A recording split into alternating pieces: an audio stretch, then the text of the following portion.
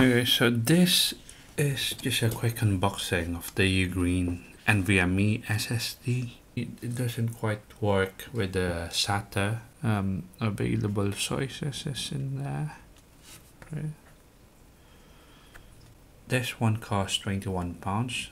On Amazon UK, there was like a six pound off voucher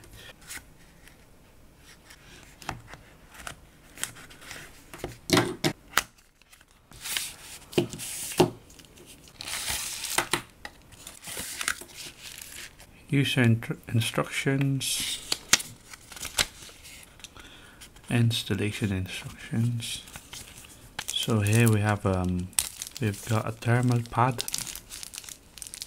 We have the piece that closes it.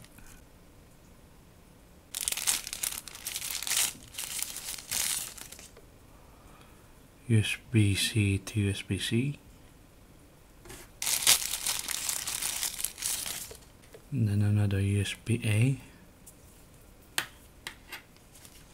easy to differentiate them between my crappy other USB-C cables that aren't marked. That probably wouldn't do the same speeds. For the drive.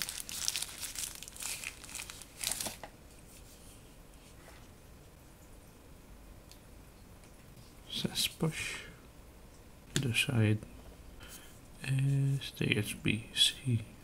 When you push it, it unlocks the bay. Ah, so the other one, that one's just a spare one and it's made out of plastic.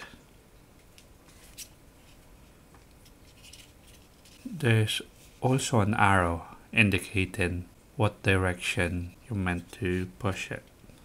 On the side tab here, and then pushing it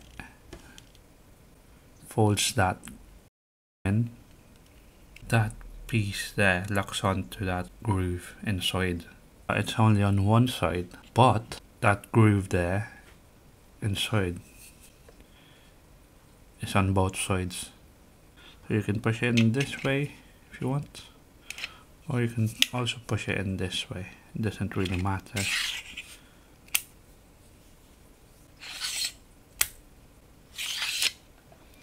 Installation wise it's really easy.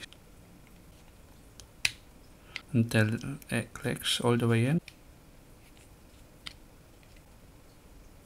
Then pull that tab across like that.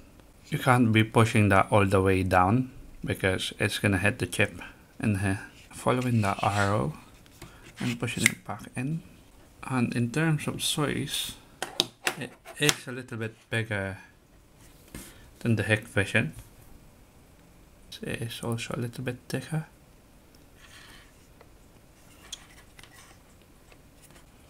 Also longer, but it's questionable if that's gonna help with the thermals because of how big it is. I did notice on the Hikvision the thermal pad actually touches this metal backplate but on here actually doesn't touch any part of the enclosure unless you put like another layer of your thermal pads. But obviously when you close it it's gonna mess it up. So here we have uh, a Lenovo Yoga 7 and it actually has a USB 4 on here capable of driving external GPUs and the max speed through there is 40 gigabit per second Okay, so I have a 30 gigabyte file in here. Properties, 30 gigs. I'm still only just getting 600 megabytes, which I was already getting that from the Hikvision, so I'm not really sure what's wrong with it. Okay, so so I figure I'm not gonna test it uh, using like files. I'd rather just see a benchmark to see what it's capable of. Yeah, so it's a lot closer than the 600 megabytes I was getting because 10 gigabit per second actually converts to around 1200 megabytes per second. Okay, so that's pretty much it.